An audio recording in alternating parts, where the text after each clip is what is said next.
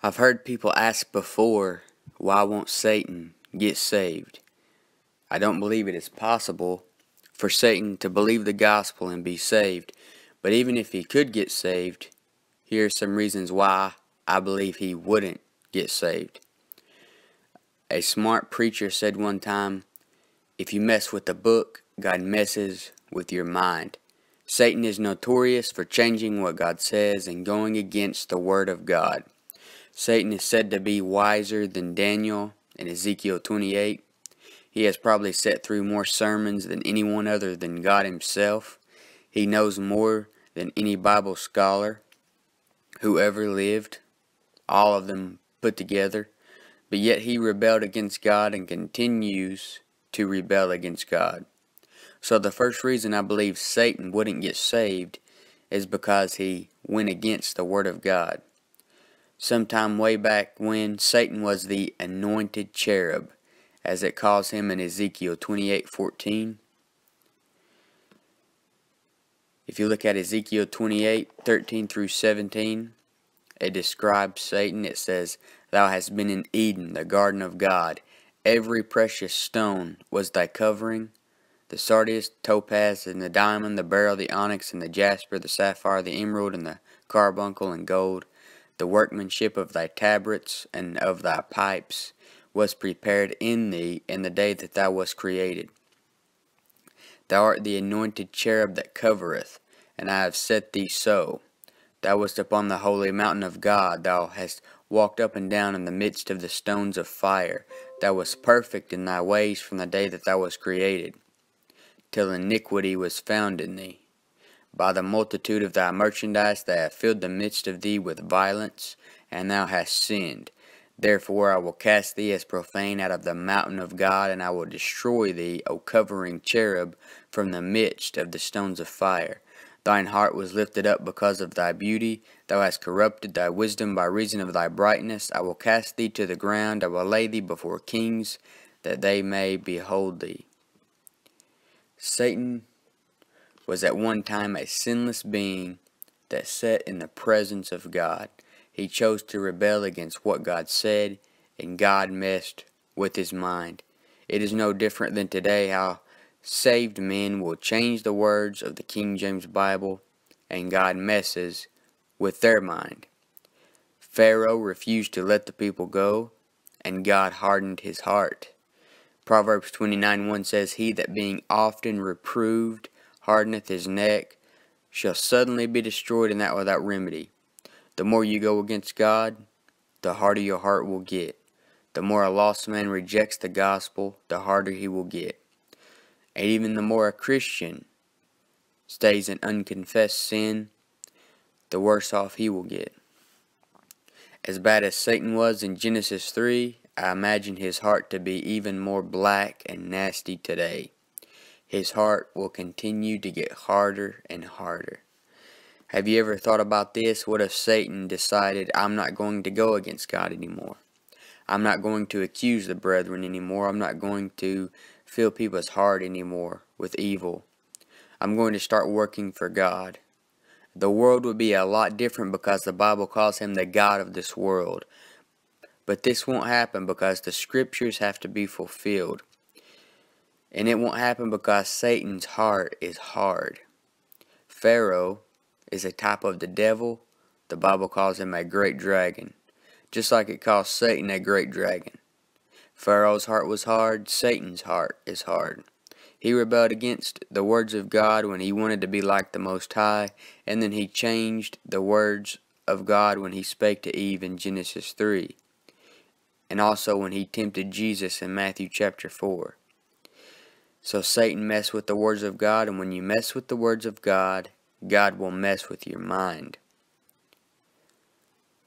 So the first reason I believe Satan wouldn't get saved is because he rebelled against God, he changed the words of God, and when you do this, God messes with your mind. He kept he kept going against God over and over, and as, as time went on, his heart got harder and harder. But the second reason I believe Satan wouldn't get saved, even if he or he would get wouldn't get saved, even if he could, is because he isn't little in his own sight. Ezekiel 28:17 says, Thine heart was lifted up because of thy beauty. Thou hast corrupted thy wisdom by reason of thy brightness.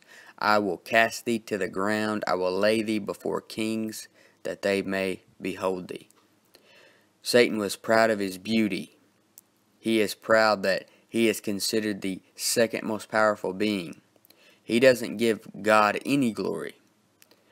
Look at what the Bible says about King Saul, describing his character before he was king. It says in 1 Samuel 15 17, And Samuel said, When thou wast little in thine own sight, wast thou not made the head of the tribes of Israel? And the Lord anointed thee king over Israel. So Saul was little in his own sight. But when he became king, he got a big head.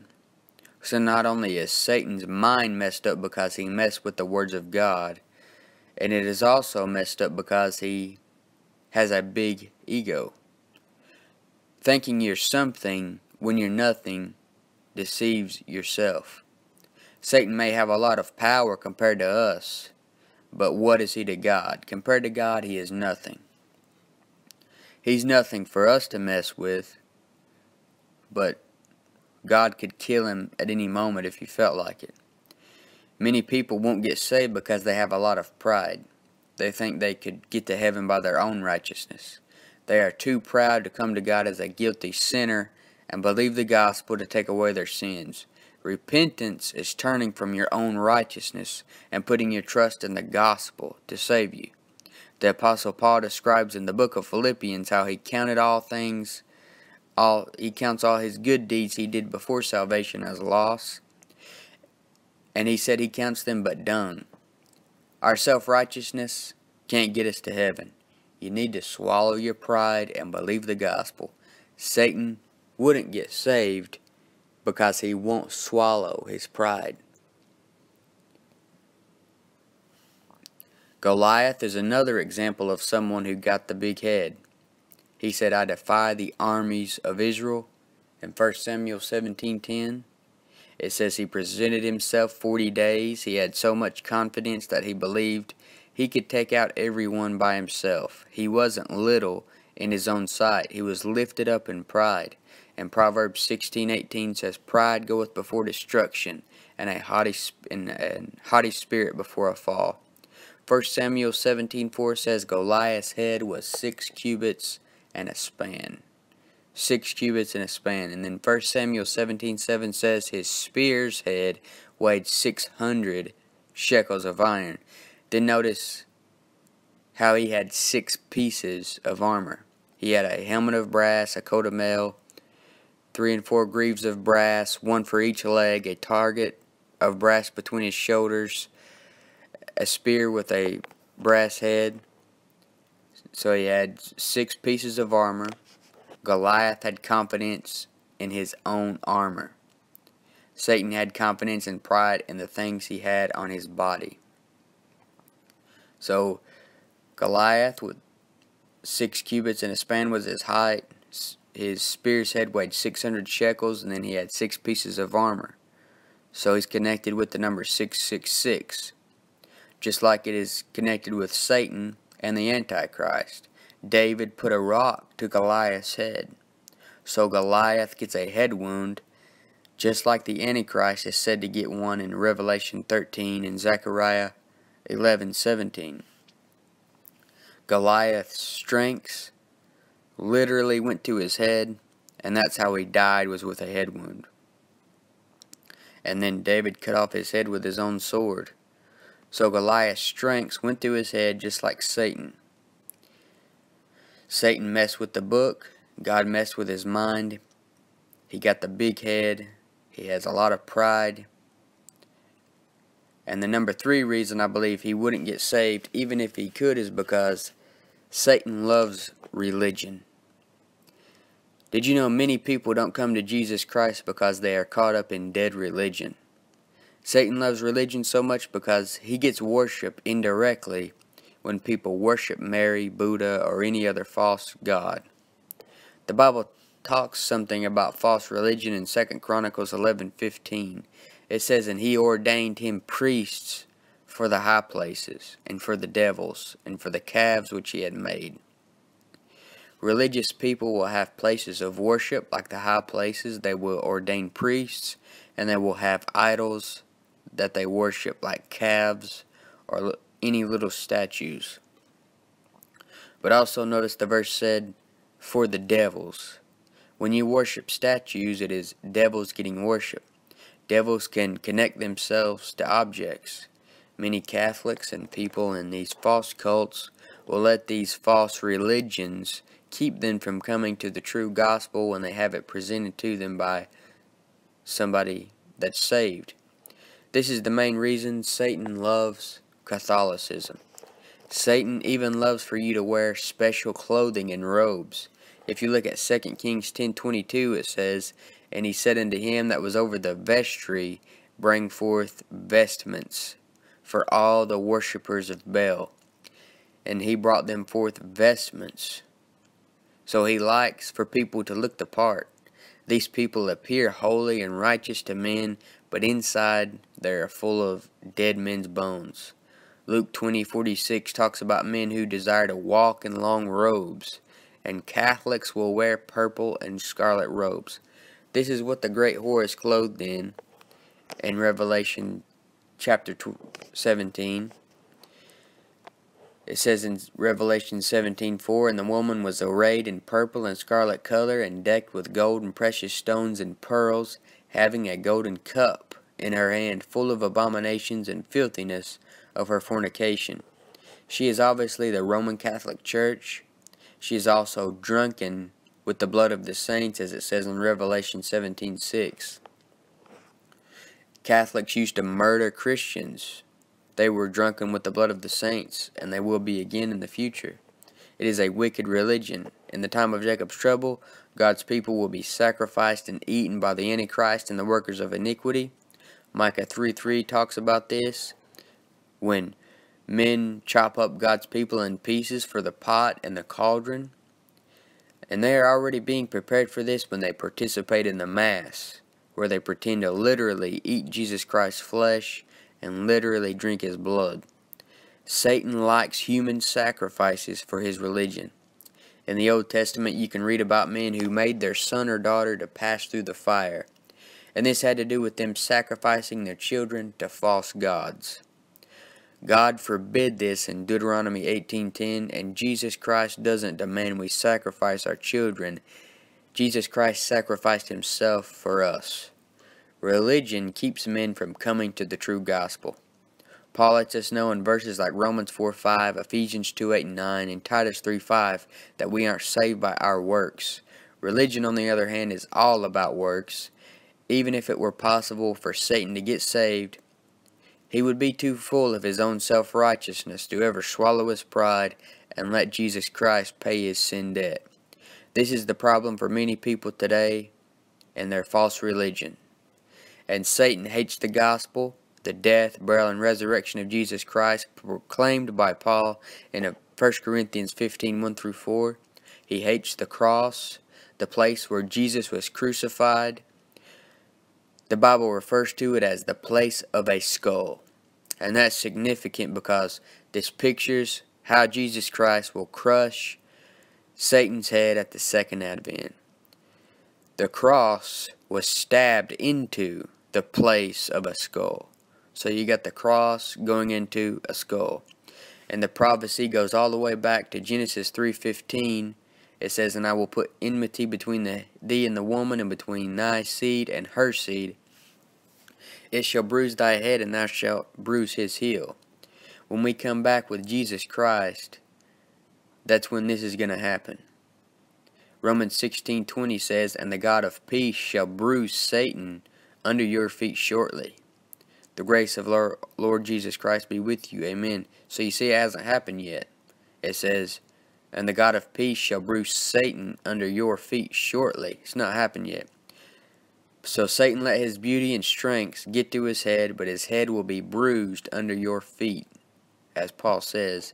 There are pictures of this throughout the Bible. In Judges chapter 4, Jael uh, stabbed Sisera in the temple with the nail of a tent.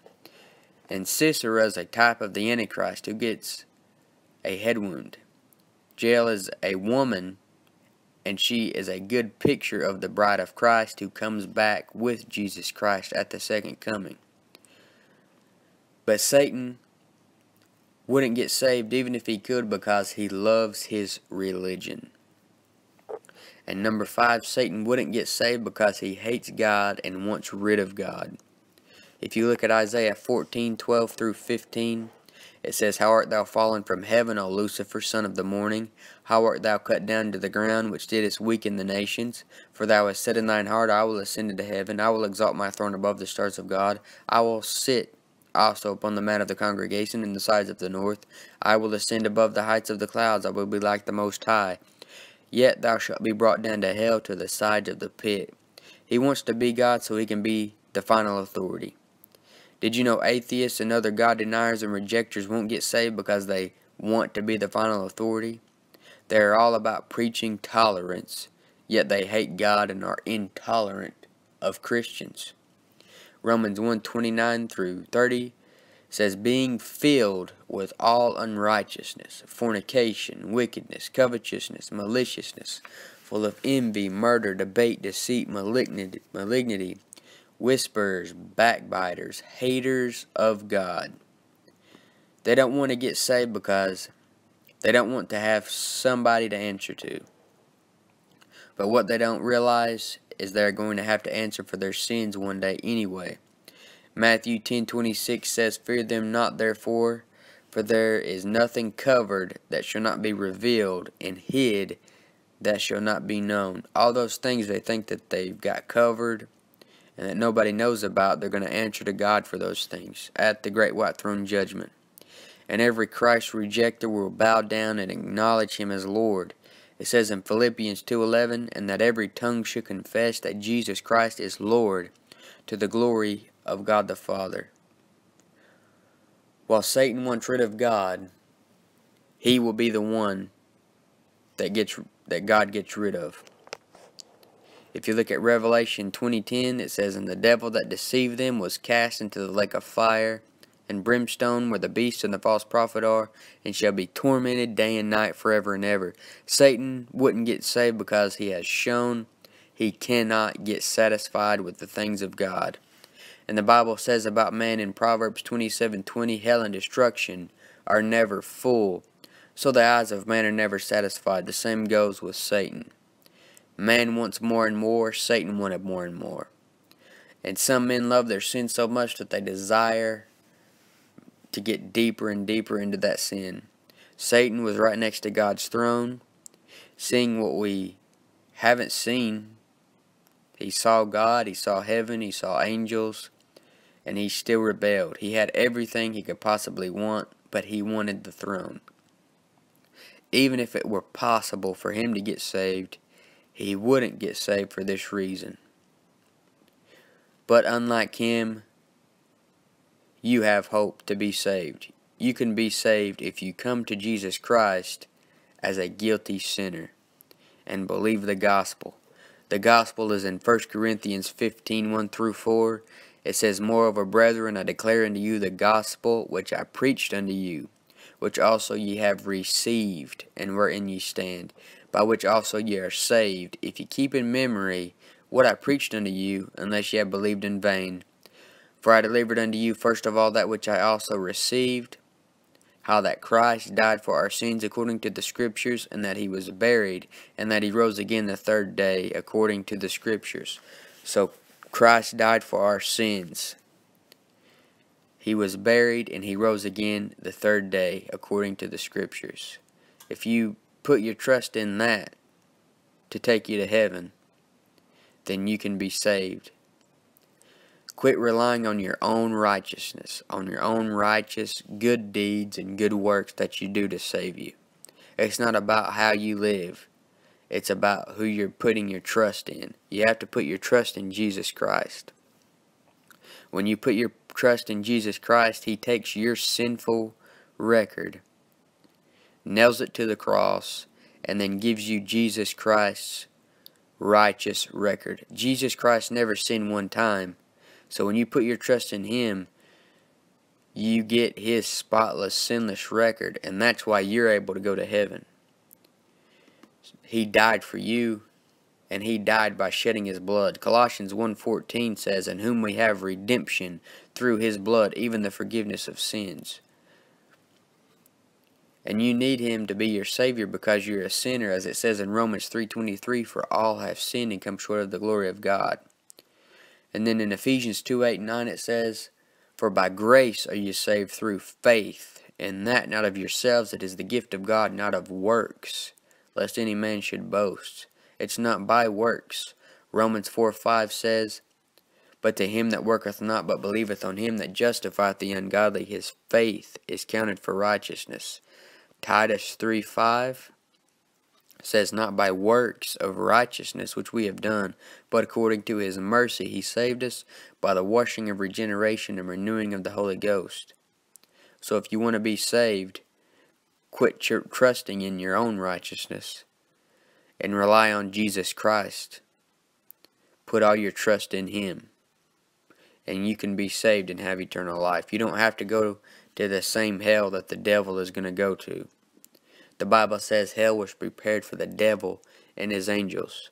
So you don't want to go there and be an outcast and an intruder in a place that wasn't even prepared for you to begin with. But believe the gospel. The gospel found in 1 Corinthians 15, 1 through 4.